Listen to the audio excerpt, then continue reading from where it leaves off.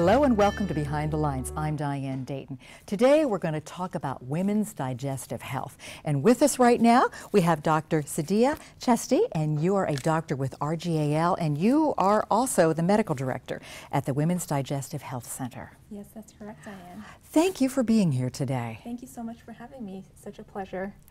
There oh, the issues we're going to talk about, there are so many problems with digestive health that happens at different ages for women, right? Yes, absolutely. And it's a topic that's so dear to me and important for the community. So I'm, I'm so glad to be able to discuss this with you. Yes. How did you get involved with women's health like this? Well, I'm a board certified gastroenterologist, and that involves a number of years of training in endoscopy. And, and this center is really about offering women the latest in terms of technology, the, the um, in terms of what we can offer in procedures and really state of the art what, uh, and, and incorporating that with lifestyle modifications and a holistic approach so that women can have the benefit of having treatment of their basic digestive health.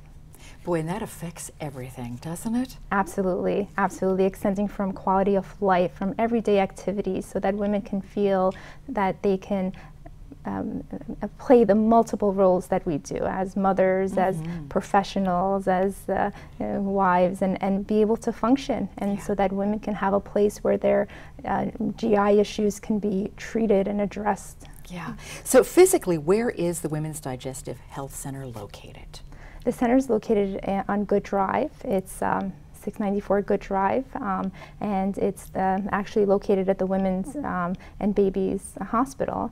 And uh, so it's it's a center that's run entirely by women, mm. and um, and and basically it's uh, uh, uh very close. I mean, we have multiple mm. multiple offices, um, okay. RGAL, and this one we decided we wanted a unique location that we can really focus on this topic? Well, we know that this is an important topic and affects a lot of us. And you see patients from what, like age 16 on up, right? Yeah, 16 on up, up to you know women in their 80s and 90s, and it's amazing how women face problems at different times of their lives in very different ways, whether it's a teenage patient that I have that's mm-hmm. coping with being able to attend high school classes or college classes and dealing with ongoing digestive issues, to women in their in their 60s, 70s, 80s going through menopause and dealing with issues related to incontinence. And I'm amazed at the number of GI issues that women face, whether it's constipation, mm-hmm. bloating, nausea, abdominal pain, and it's, it's quite common. Yeah, it sure is. Now, this center is relatively new. Yes. And what you just said, it's run by women for women. Boy, that's really key because sometimes we, as a woman, feel more comfortable talking to another woman about issues like this, right? Absolutely, absolutely. And one of the things that I really advocate for women is to be able to address their issues because for, for years, you know, people, uh, women, women are very reluctant to discuss their personal GI health issues, mm -hmm. sometimes with a male practitioner. So this really gives them an opportunity to address issues maybe that they've been putting off mm -hmm. for years yeah. and, um, and really come to a center that they feel comfortable. Sometimes I guess too, we get confused with different signs and symptoms as to what is going on in our bodies, don't we? Absolutely, that's a very good point, Diane, because that's that's true. And a lot of times, um, women can can use the um, the internet or other resources, and there's so many good resources, but unfortunately, sometimes it can be misleading. And sometimes what they attribute to something that is just the way that their body functions, or perhaps you know they've been told that they have IBS, could be something something significant. So it is important to be proactive, to to discuss any symptoms or problems that that uh, that you're having, mm -hmm. and and see whether it's something else. Perhaps it's celiac.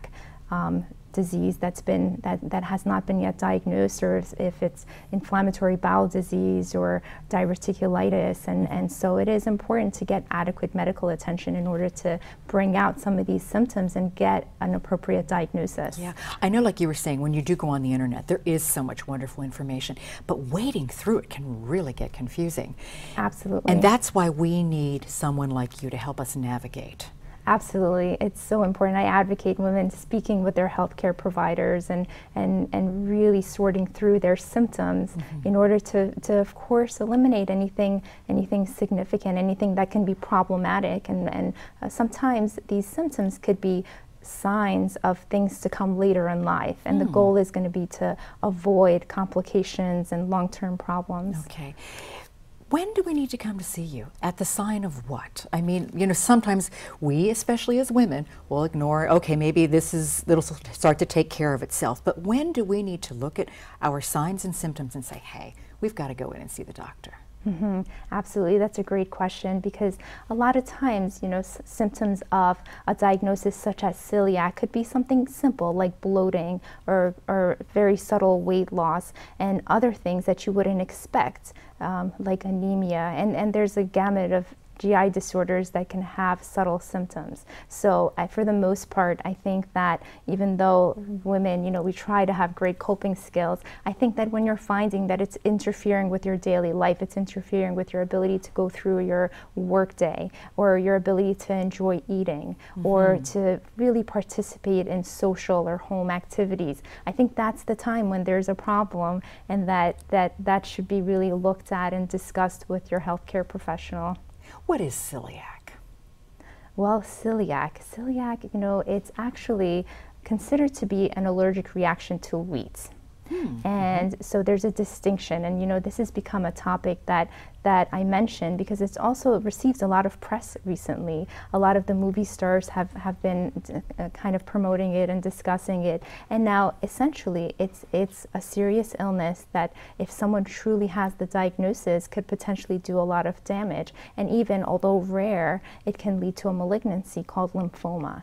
So mm. so the first step is to establish whether an individual really has the diagnosis, and that really involves the help of a gastroenterologist or a healthcare provider in order to decipher some of the some of the symptoms and some of the the testing that's available. Now, that's different than glucose intolerance, and that mm. really mm-hmm. opens up the topic of lifestyle modifications because okay. a lot of people with irritable bowel syndrome can have pretty significant symptoms consuming, you know, ingesting certain food products, and that includes wheat.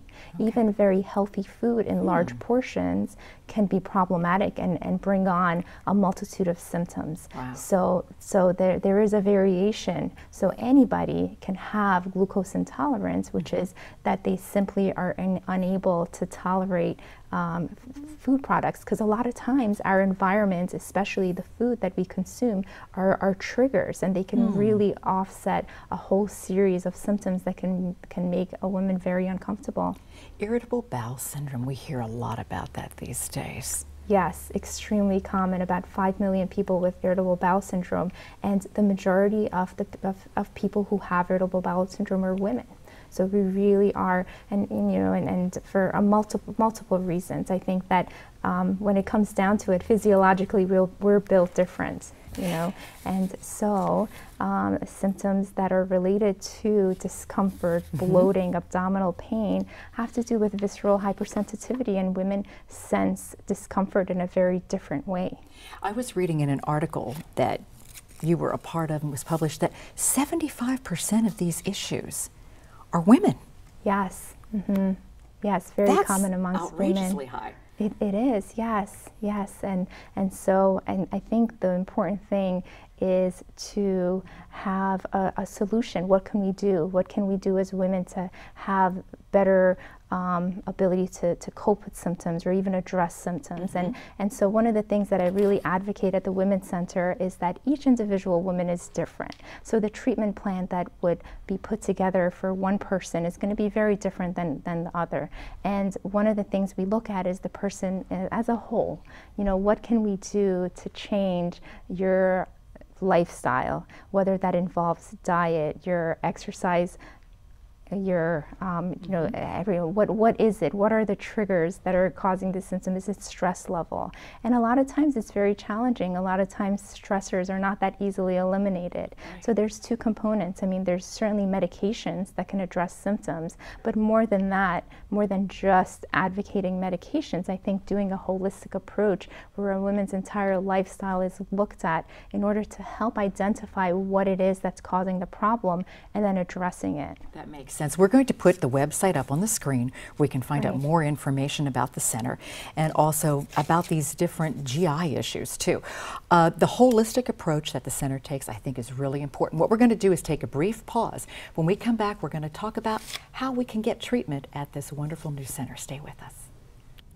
Welcome back to Behind the Lines. We're talking about women's digestive health issues with Dr. Cheshty, and you are with RGAL, and you're also the medical director with the Women's Digestive Health Center. Boy, colon cancer, colonoscopies, address mm -hmm. that. Absolutely. Colon cancer is uh, very common, up to um, more than 100,000 cases are diagnosed um, a year, and uh, in addition to another 40,000 cases of rectal cancer, so very common. And so I think that women, you know, we need to take advantage of the of the uh, very simple means of preventing colon cancer, mm -hmm. um, having a colonoscopy. And so, um, you know, I, I, think that having this advantage of offering women um, the opportunity to come in to discuss colonoscopy, see if they qualify, if they need it, and, and getting that set up is important.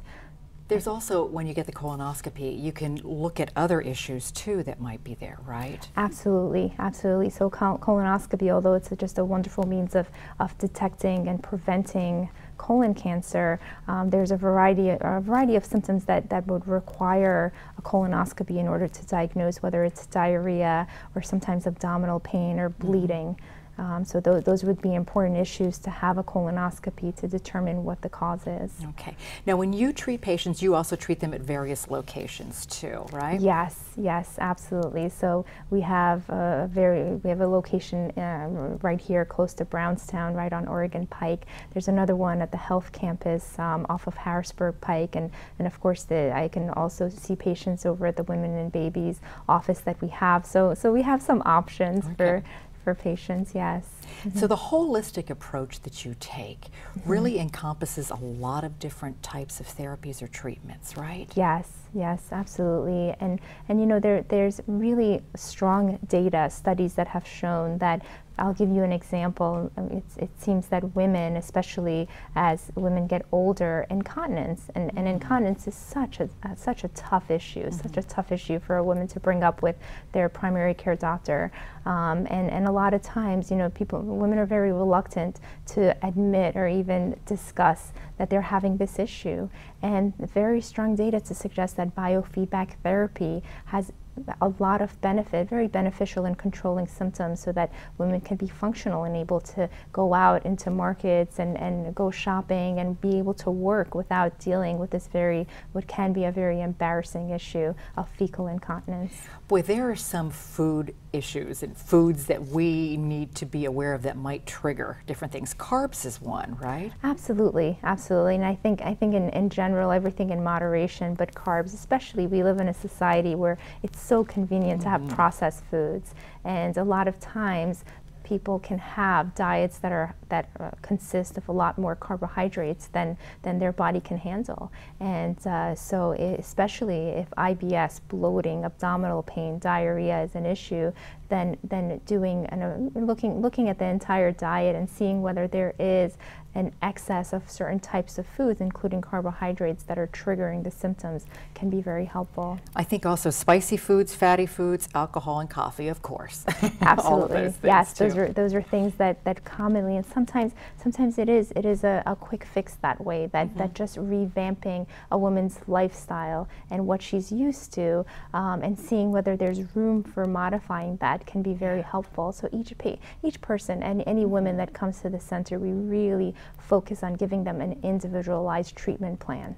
There are procedures that can be done to help with some of these different issues. Tell me about those and where are they done? Absolutely, yes, yes. So, so the, the variety of procedures. I mean, as in general in the in the group, you know, we, we are we, we, we do colonoscopies, we do upper endoscopies, endoscopic ultrasound, ERCP, and you know, the the goal is to just really incorporate um, all the advances that there are in GI, and, and we are, you know, above the national average in terms of detection of polyps, and and and and so that's very important as gastroenterologists for us to maintain that and offer that. And the added convenience that we like to provide as a practice is multiple locations. So mm-hmm. yes, there's a location right off of Oregon Pike that a patient, if that's if that works best for their schedule and and that's where they can get to, that would be a location for them at the health campus. Um, in addition to all all four hospitals in the area. Okay, we all want to know: Are these procedures painful? What do we need to know? Yes, and, and you know that that's very important to me and, and my colleagues because you know comfort during procedure is extremely important and I can I can tell you that that I you know typically sit down with my patients and I tell them you know I will guarantee that they will be very comfortable during the procedure. We have anesthesiologists on site mm-hmm. and you know and, and again every patient's different but the, for the most part the one thing that's common amongst all patients is that with the advances we have in technology mm-hmm. and the ability to keep the patients as comfortable as possible during the procedure so that that's not a non-issue. Yeah. And if you're just joining us, one of the things we're talking about, it's women's digestive health issues. And there's a center, the Women's Digestive Health Center that has just opened up this year because these issues are so prevalent with women. Absolutely. The numbers again with that, like one of the things we were talking about is how women can taste bitter and sweet flavors more than men can. Absolutely. So we are yes, sensitive. Yes. We are, we are, and and it's it, we're, we're built differently. I mean, from the from the time that that food enters the mouth to the time that it's getting processed. We uh, women, for a variety of reasons, whether there's hormonal activity, whether it's visceral hypersensitivity, which basically means that mm-hmm. the innervation, the way that we sense things, women just are, are able to sense things very differently than men. And, and there could be two people that have very similar diets, and, and the, a woman can have very significant um, reaction in terms of how she processes foods. Mm-hmm. And that continues from the time that mouth, you know, the, the, our food enters the mouth all the way down. Okay, mm-hmm. and you see patients essentially from age 16 on up. Yes. Let's mm-hmm. reiterate what we need to look at as signs and symptoms if we're having them that we need to come and see you. Absolutely. Any, anyone who's having abdominal pain, if you're having pain and discomfort, whether it's related to eating or not, that's something that needs to be looked at. Anyone who's not able to tolerate food, anyone who has nausea, vomiting, anyone who has bleeding, um, rectal bleeding um, eh, or, or, dark stool. You know, those are all things to look at. Weight loss, if, if you're trying to maintain your weight and, and you're losing weight, bloating, abdominal discomfort. Mm-hmm. And I'm amazed at the number of women that have these issues, whether it is constipation, bloating, abdominal pain, just a variety of, of symptoms. And these are things to certainly bring up with your healthcare provider. Okay. You know, the days of being shy about having these symptoms addressed, you know, that, that, that's gone. And we really advocate women taking a proactive role and mm-hmm. seeing whether there are uh, there is a significant, you know, if there's something wrong, whether there is a significant diagnosis that needs to be addressed, and what, and if it is IBS, then putting together a treatment plan that can help these symptoms dissipate so that we can lead very functional lives. And it is treatable. We don't have to live that way, right? Yes, that's absolutely right, Diane. Yes. That's the important part to, to go when you know this is happening and trust that little inner voice mm-hmm. that sometimes says, hey, this isn't quite right. And I think we as women too, you know, we're pretty intuitive, you know, with our bodies, whether we yes. Mm-hmm. decide to go with thoughts that we have or whether we ignore it. We need to listen to the, our, our, bodies, right? Absolutely, absolutely. And, and also just look look at our entire lifestyles. What what is it that we're eating? You know, what is our physical activity level? Mm-hmm. Are there stressors that we can modify? So yeah. so really looking at, at a women's health in its entirety is mm-hmm. going to be key. Yeah. What are your goals for this center as medical director? My goals is, you know, for the most part, to provide a comfortable environment where women can come and discuss their GI health issues. You know, there are certain health issues like liver diseases. There are certain mm. liver diseases that are much more common in women, um, in addition to other conditions, whether it's IBS. And so this is going to be a center where we can incorporate, again, just the latest in terms of technology and what we have available, the latest medications that we can offer, in addition to incorporating a holistic approach where women can be referred to or can have access to biofeedback therapy, to exercise programs, to physical therapy, um, to dietary modification, so that this is really, you know, kind of revamping a woman's digestive health in addition to their entire health. Mm -hmm. And I think we need to reiterate too, this is for women, run by women. So mm -hmm. feeling comfortable talking to another woman about some of these intimate issues is really key, right? Yes. We're going to put once again the website up on the screen. What are we going to find there?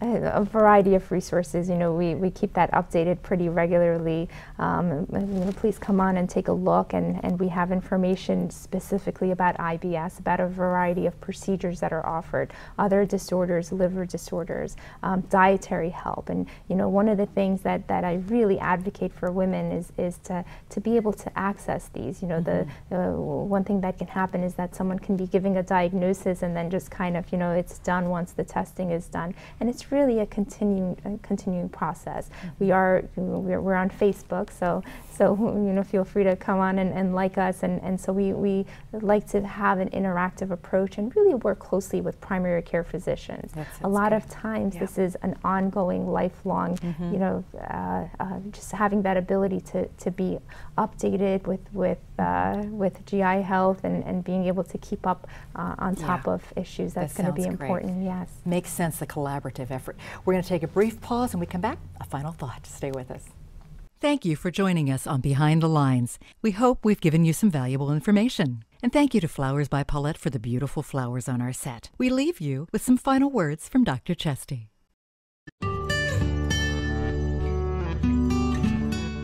Hi there, I'm Dr. Sadiya Cheshty board certified gastroenterologist and director of the Women's Digestive Health Center. The reason why I feel that it's so important to have a center like this is that women need an environment where they feel comfortable to address their health issues, particularly GI health.